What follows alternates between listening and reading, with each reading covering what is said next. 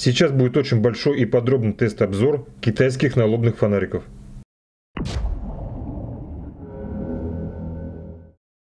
А сейчас зададимся вопросом, зачем фонарик одевают на голову. То есть зачем нужен налобный фонарик. Ну, если логически рассудить, то фонарик одевают на голову, чтобы освободить руки. Чтобы одной из рук не держать фонарик, а чтобы фонарик держала голова. И в этом случае подразумевается, что одевая фонарик на голову, мы будем выполнять какие-то действия руками либо что-то ремонтировать в темноте, либо в туристическом походе что-то делать. То есть выполняя какие-то действия перед своим носом, нам нужен будет хороший ровный свет с большой площадью освещения. А ровный свет с большой площадью у нас дает линзованный фонарик. И фонарик с глубоким отражателем будет не очень удобен в качестве ближнего рабочего света. Потому что пучок у него точечный и очень мощный. И если этот свет отразится от предметов вблизи, то он может вас самих ослепить. Значит, кто ничего не понял, объясняю на практике. Здесь у меня хороший фонарик с глубоким зеркальным отражателем. А теперь представьте, что это налобный фонарик. Вы резко поворачиваете голову, и вас ослепляет отраженный свет. Когда глаза привыкли к темноте, это очень неприятно. Вот это явление я называю обратно засветка. А сейчас я включил линзованный фонарик. И как мы видим, свет у него ровный и без каких-то ярких засветок. Ровный свет заливает большую площадь поверхности и видно все как на ладони. Теперь представляем, что это у нас налобный фонарик, поворачиваем резко голову, и никаких засветок и обратного ослепления мы не наблюдаем. На свет смотреть приятно и нет никакого дискомфорта. Итак, сейчас я наглядно показал, что для налобного фонарика лучше использовать линзу, чем глубокий зеркальный отражатель. И при выборе налобного фонарика я сразу же отсеял фонарики с зеркальным отражателем. На Алиэкспресс продается множество налобных фонариков с несколькими элементами освещения – то есть, грубо говоря, китайцы нам предлагают носить на лбу 2, 3, 4 и даже 5 фонариков. А это, естественно, увеличивается масса изделия, что будет вызывать огромное неудобство при ходьбе. На большое количество светодиодов увеличится расход энергии, а это получается, что в походе или на рыбалке фонарик быстрее сядет. А если не задействовать светодиоды, тогда нафиг они вообще там нужны. И исходя из этих соображений, получаем, что больше чем один светодиод в налобном фонарике использовать непрактично. И на Алиэкспресс я специально искал налобные фонарики, линзованные и с одним светодиодом. А выискивал я налобные фонарики с большой линзой. По принципу «больше лучше». Но, естественно, в разумных пределах. И этим летом я приобрел вот такие налобные фонарики, потому что мы стали активно ездить на рыбалку. Уезжаем мы на все выходные, то есть получается 3 дня, 2 ночи. Но, собственно, ночью на рыбалке налобный фонарик просто жизненно необходим. И так что все эти фонарики протестированы лично мною в реальных условиях. Еще до кучи я приобрел вот такой дешевый налобный фонарик, чтобы при тестировании было с чем сравнивать, то есть было какое-то разнообразие. Значит, сейчас бегло расскажу их технические характеристики и сразу же будем тестировать. Первый фонарик стоит 9 долларов, а это чуть больше 500 рублей. У него выполнена довольно большая линза, которую можно регулировать ближе-дальше по отношению к светодиоду. У фонарика также имеется несколько фиксирующих положений по отношению к горизонту. Сверху на головке фонарика выполнена резиновая кнопочка, которая включает три режима. Первый это мощный режим, второй слабый и третий ублюдский стробоскоп, который, как вы знаете, я хронически ненавижу и не перевариваю. Очень хорошо, что здесь три режима работы, а не пять. И было бы совсем замечательно, если фонарик имел всего два режима работы, без этого сраного стробоскопа. В фонарике установлен светодиод XML T6, я на 100% уверен, что это подделка. Конкретно этот фонарик питается от трех пальчиковых аккумуляторов типа АА. Также в продаже я видел абсолютно такие же фонарики, но с питанием от двух аккумуляторов 18650. От аккумуляторного отсека до самого фонарика идет такой витой проводок, который имеет крепежную фурнитуру. Сама резинка, которая одевается на голову, состоит из трех частей. Резинка довольно плотная и все сделано довольно качественно. Значит, что в конструкции этого фонарика мне не понравилось. А это то, что при полностью выдвинутой линзе в сопряжении она имеет небольшой люфт. Не знаю, почему так сделано, но разберемся чуть позже. В принципе, этот люфт никак не мешает фиксации линзы. И почему китайцы его сделали, непонятно. И второй момент, что мне не понравилось, это вот эта крышка аккумуляторного отсека. Хоть она и закрывается довольно плотно, но теоретически не имеет защиту от дождя. И потом вот эти пластиковые защелочки также не внушают никакого доверия. То есть она сверху вот так одевается, раз и все. И это пока два единственных недостатка, к которым я могу как-то придраться. Но в целом фонарик мне понравился, а качество света узнаем чуть позже. Следующий фонарик стоит 12 долларов, это больше 700 рублей. И у него уже установлен светодиод XML L2. Чисто теоретически это более современный светодиод э, с лучшими характеристиками, чем у Т6. У этого фонарика линза намного меньше, чем у предыдущего. Слева открытая часть линзы примерно 32 мм, справа 22 мм. Регулировка линзы по отношению к светодиоду происходит не методом выдвижения, а методом покручивания головки фонарика. А характерные щелчки – это фиксация положения линзы. Вот сейчас будет видно, насколько линза отдаляется. Головка фонарика имеет несколько регулировок по отношению к горизонту. Метод фиксирования не как у предыдущего фонарика, и он мне не нравится. Потому что он какой-то невнятный и уже видны следы выработки. Зато у этого фонарика есть небольшой головной каркас, который должен улучшить фиксацию фонарика на голове. Аккумуляторный отсек у фонарика выполнен из черного пластика с резиновой крышкой. Резинка довольно мягкая и легко снимается. В сопряжении крышки корпус имеет специальный паз по всему периметру, а на резиновой крышке внутри есть специальный выступ. А это означает, что аккумуляторный отсек имеет некую водостойкость, и обычный дождик не должен быть ему проблемой. Фонарик питается от двух аккумуляторов типа 18650. В аккумуляторном отсеке есть USB разъем, и в теории он может работать как Powerbank. Соединительные резиночки, а также провод питания абсолютно такие же, как у предыдущего фонарика. Даже надпись одинаковая. Фонарик имеет аж целых 5 режимов освещения, что лично у меня вызывает неудобность в использовании. И каждый раз, чтобы его выключить, приходится проходить все эти 5 режимов. Первый режим мощный, второй средний, третий слабый, четвертый бесящий стробоскоп, ну и пятый это бесящий какой-то там сос, по-моему, что ли. И вот представьте, что я включил фонарик, а чтобы выключить, мне придется переключить все его 5 режимов. Раз, два, три, четыре, пять. И так делать нужно будет каждый раз.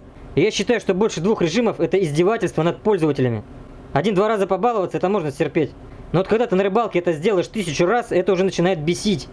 При включении фонарика сзади аккумуляторного отсека загорается зелененький огонек. Но опять я не понимаю, почему зеленый-то огонек? Если эта функция сделана для велосипедистов, то чисто логически здесь должен загораться красненький огонек. Красный. Почему, блядь, зеленый-то огонек? И вот, товарищи зрители, напишите в комментариях, как вы думаете, почему китайцы здесь сделали зелененький огонек?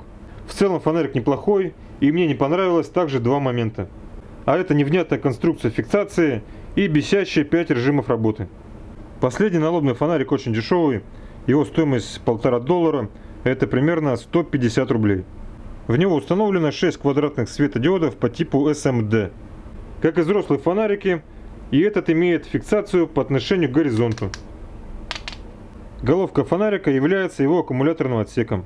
Питается на трех мизинчиковых аккумуляторов типа ААА. Сверху выполнена резиновая кнопочка, которая включает три режима работы фонарика. А это мощный режим, слабый режим и опять сраный стробоскоп. На голове фонарик фиксирует три вот таких зачуханных резиночек. Фонарик дешевый, придираться особо к резинкам я не буду. Но вот фиксация резинок на фонарике, простите меня, просто уебищная. Например, я одеваю фонарик на голову, раз-раз и резинка соскочила. И сразу же возникает вопрос, да как так-то, елы-палы? А все дело в том, что в креплении резиночки сделана прорезь, через которую якобы резинку нужно туда вставлять. Причем такое дерьмо сделано на всех трех резинках. Испытывая этот фонарик, я уже замучился одевать обратно эти резинки и чуть не разбил его об стену. Вот такой метод крепления резинок называется вредительство. Оно несет покупателю вред и негатив. Значит, что не понравилось в этом фонарике? А не понравилось буквально все. Весь этот фонарик сплошная ошибка. Сейчас немного посветим в темноте, и первый будет фонарик с большой линзой. Линза сделана на максимальное расширение, свет все равно довольно яркий. Освещается довольно большая площадь поверхности, свет более чем заливной и равномерный. На максимальном удалении линзы фонарик светит вот так. Очень яркий и сконцентрированный пучок света в виде квадратика. Ну что ж, здесь я вообще не вижу никаких претензий. Это значит свет на 5 баллов. Сейчас фонарик со светодиодом XML L2. Сейчас максимальное расширение линзы. Довольно большой круг освещения. И по краям он имеет как бы двойной контур. Возможно на камеру вам этого не видно, но по краям происходит двойная граница. Пока не понимаю, почему это происходит, но минусов в этом никаких не вижу. Сейчас максимально удаляю светодиод. Но вот если делать до упора, то квадратик в центре не очень такой четкий, не очень яркий. Если немножко открутить назад, то он становится более такой четкий. Первое впечатление, что этот фонарик светит чуть-чуть слабее, чем предыдущий. Фонарику со светодиодом XML L2 за качество освещения ставлю 4 с плюсом. Но полбалла снизил за то, что хороший светодиод светит чуть-чуть слабее, чем подделка. А сейчас давайте сравним первый фонарик и второй. Сейчас освещает фонарик номер один с большой линзой. А сейчас фонарик номер два с маленькой линзой. Большая линза, маленькая линза. Большая линза, маленькая линза. Вам не кажется, что большая линза светит гораздо ярче, чем маленькая? Хотя с маленькой линзой светит более лучший светодиод XML L2. Еще можно заметить, что круг у маленькой линзы примерно на 10% больше. Может из-за этого свет менее яркий. Так сейчас отодвигаю линзу и делаю круги одинаковые. Вот круги совмещаются, но свет у большой линзы все равно гораздо ярче. И почему-то получается, что галимая подделка светит ярче, чем более лучший светодиод. Напомню, что у фонарика включена максимальная яркость и аккумуляторы полностью заряжены. А сейчас включаю дешевский налобный фонарик. До верстака примерно 3 метра и фонарик еле-еле его освещает. Свет очень бледный, тусклый, глаза при этом напрягаются. Оттенок света очень похож на освещение в морге в каком-нибудь фильме ужасов. Более-менее он хорошо освещает это до 1 метра. А кому нужен фонарик, который светит 1 метр? Он даже не годится для освещения палатки в походе, потому что свет настолько блеклый, что глаза прямо напрягаются. Ставлю честный, заслуженный кол с минусом этому освещению. Но вот этот фонарик меня просто убивает. Зачем тратить энергию, природные ресурсы, чтобы выпускать такое говно? Вот этот фонарик самое настоящее китайское говно. С таким фонариком даже в деревне посрать сходить опасно. А сейчас с помощью моей супер коробки и прибора люкс метра мы документально убедимся, какой фонарик светит всех ярче. И для статистики протестируем мой любимый линзованный фонарик, который очень хорошо светит и у него установлен светодиод XML U2. Первым будем измерять фонарик с большой линзой. Подношу фонарик по центру и за подлицо к краям коробки. И прибор у нас показывает примерно 1050 люкс. Я провожу тестирование на самом мощном режиме и на максимальном расширении линзы. А сейчас фонарик со светодиодом XML L2. Подношу прибор к коробке и прибор фиксирует примерно 850 люкс. Ну что ж, зрение меня не обмануло. Этот фонарик светит немного слабее, чем предыдущий. При абсолютно одинаковых условиях разница этих фонариков составила в 200 люкс. Измеряется мой любимый линзованный фонарик. И прибор у нас фиксирует примерно 920 люкс. Ну и ради смеха испытаем вот этот дурацкий дешевый фонарик. И прибор у нас показывает примерно всего 100 люкс. Вот такие у нас получились цифры. Фонарик с большой линзой имеет явное преимущество. Но в чем феномен его яркости нужно будет разбираться в деталях. Даже мой любимый фонарик со светодиодом хорошего качества XML U2 показал на 100 люкс меньше, чем аналогный фонарик с поддельным светодиодом. Здесь явно какое-то волшебство. Но об этом мы узнаем после разборки фонарика. А сейчас быстренько посветим на природе, потому что вроде кончился дождик. Значит, слева у меня фонарик с большой линзой, справа с маленькой линзой. Большая, маленькая, большая, маленькая. Да, на улице также хорошо заметно, что большая линза светит ярче. На фонарике с маленькой линзой убавил диаметр освещения. Теперь круги освещения у этих фонариков одинаковые. Большая, маленькая большая, маленькая. И все равно даже в таких условиях большая линза светит ярче. Значит, фокусировка дальнего света у фонариков отличается. Где стоит светодиод XML L2, квадратик явно больше. Но вот этот маленький квадратик как бы более яркий, свет у него более сконцентрированный. Я отошел в конец гаражей, длина их примерно 50 метров. И фонарик с маленькой линзой четко освещает мою машину. То есть вот мне глазами ее прекрасно видно. 50 метров дальнего освещения очень даже неплохой результат. Сейчас поменялись местами и светит фонарик с большой линзой. Дальний свет у этого фонарика гораздо ярче. Но в два раза это точно. Моя машина и территория вокруг нее освещена четко и довольно хорошо. Сейчас попробуем сразу два вместе. Отдаляю фонари вдаль, и большой квадратик уже рассеивается. А маленький довольно-таки хорошо освещает. Итак, по всем тестам, фонарик с большой линзой и с поддельным светодиодом выигрывает по всем показателям у своего старшего брата со светодиодом XML L2. Вероятно, все дело в драйвере, который здесь использует светодиод на максимальную мощность. А здесь наоборот, драйвер занижает мощность светодиода, чтобы тот, например, не перегревался. Но, возможно, есть какие-то другие факторы, которые добавляют волшебства этому фонарику. Сейчас мы их быстренько разберем и посмотрим, что внутри.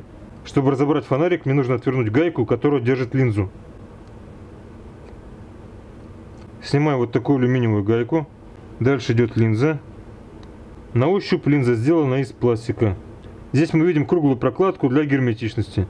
Теперь откручиваю гайку, которая прижимает светодиод. Кстати, все детали откручиваются очень легко. Их желательно затянуть, потому что впоследствии они могут разболтаться. Дальше идет пластиковый прозрачный изолятор. Вот такая вот круглая прозрачная штукенция. И здесь мы видим светодиод на алюминиевой подложке, который даже не помазан термопастой. Слева это мой любимый ручной фонарик, у которого размеры матрицы светодиода больше. Это говорит о том, что в налобном фонарике установлен поддельный светодиод Т6 с маленькой матрицей. Все именно так, как я и говорил. За крышкой головки фонарика здесь видно плата управления, то есть драйвер. А, все, понял, она отвинчивается. Светодиод нужно повернуть на 90 градусов и вытащить сквозь пазы. Так, вот у нас корпус. На деталях корпуса выполнены две таких резиночки. Они выполняют роли сальников. И, собственно, небольшой люфт, который присутствует при полном выдвижении, как раз из этих двух сальников. Это такая особенность конструкции этого корпуса, ничего с этим не поделаешь. Ну, собственно, не очень небольшой люфт, на скорость он не влияет. Никакого особого волшебства я здесь не вижу. Стандартные детали. Однако невероятно, но факт, фонарик светит очень ярко. А теперь разберем фонарик с маленькой линзой. Здесь стоит какое-то пластиковое кольцо. Потом идет пластиковая линза. И вот теперь ощутите разницу в размерах линзы. И такая же огромная разница по толщине. Нет или вторая причина хорошей яркости света после драйвера. Вот смотрите, как ездит туда-сюда светодиод. В качестве фиксатора вот этой вот штуки здесь установлен шарик с пружинкой. Так, сейчас вынимаю светодиод. Что-то нифига он не вынимается. Не хватает проводов. На вот такой алюминиевой штуке здесь ездит светодиод. Вот эта гаечка прижимает светодиод к алюминиевой основе. Под алюминиевой гайкой установлена вот такая изолирующая прокладка. Если ее не будет, то гайка замкнет контакты светодиода. Разбираю заднюю часть этого фонарика. Значит, под крышку установлен драйвер, но он что-то не вынимается. Что-то боюсь его вырвать оттуда. Значит, это оказался не драйвер, а простая плата с пайкой. Вероятно, драйвер установлен в аккумуляторном отсеке. Отпаивать светодиоды я не хочу, я вам просто хотел показать разницу э, в светодиодах. А вот смотрите, я сейчас сравниваю светодиод XML U2 со светодиодом XML L2. И у L2 матрица тоже меньше, чем у светодиода U2. А это говорит о том, что светодиод XML L2 тоже подделка с уменьшенной матрицей. И то есть в налобных фонариках установлено оба поддельных светодиода. Значит ничего тут модернизировать и усовершенствовать я не собираюсь. Фонарики меня полностью устраивают, даже с учетом того, что здесь поддельные светодиоды. Светят они хорошо, а фонарик с большой линзой просто прекрасно.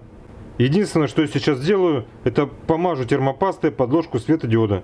Тем более, что в фонарике с маленькой линзой светодиод прижимается практически самими кончиками. То есть площадь прижима светодиода очень маленькая. Ювелирная такая работа, надо помазать самые кончики этого светодиода. Значит, что еще обнаружил? Гайки у фонариков, которые прижимают светодиод, немного разные. У фонарика с большой линзой гайка имеет даже некий такой отражатель. И обратная его сторона сделана даже как бы выпуклой. То есть здесь прослеживается какая-то конструкторская работа китайцев. Так что возможно еще вот эта вот гайка-отражатель дополнительно отражает там 10-15% света. Хочу посмотреть, как выглядит драйвер этого фонарика. Он установлен в аккумуляторном отсеке. Вот он у нас такой драйвер квадратный. Кстати, я не заметил, а здесь есть штекер для входного питания. То есть, получается, аккумуляторы можно подзаряжать, не вынимая их из, из отсека. Это, конечно же, огромный плюс к этому фонарику. Ну и давайте уже подытожим, а то я вам, наверное, надоел с таким длинным роликом. Мое мнение по фонарику номер один с большой линзой. У данного фонарика просто прекрасный свет для освещения с головы человека. У фонарика очень хорошая яркость при максимальном расширении и при, и при дальнем свете. Вероятно, такую яркость дает хороший драйвер, большая линза и также некий отражатель в виде гайки. Все эти факторы понемногу и дают преимущество над другими фонариками. К плюсам еще отнесу три режима вместо пяти. Не нужно будет судорожно тыкать пальцем, чтобы выключить фонарик. Для кого-то плюсом еще может служить это применение пальчиковых аккумуляторов. Потому что они у нас больше распространены, чем аккумуляторы 18650. Но учтите, что в мощном режиме фонарик потребляет довольно много энергии. И вот таких ширпотребных аккумуляторов едва хватало на одну ночь. А лично я использовал вот такие фирменные аккумуляторы Sanyo Anelop. Покупал я их не в Китае, стоят они очень дорого, но именно этих аккумуляторов мне хватило на целых две ночи. То есть, собираясь в поход, обязательно нужно взять запасные аккумуляторы. К минусам я даже не буду относить небольшой люфт головки фонарика. Это конструктивное решение. Но к минусам отнесу это корпус аккумуляторного отсека. У него не очень хорошая герметичность и не очень прочные защелки. Общую оценку этому фонарику даю 5 из 5. Фонарик абсолютно стоит своих денег, и это, наверное, второй стоящий девайс после 15-ваттной фары. После первой же рыбалки друзья-товарищи меня закидали просьбами заказать им такой же фонарик.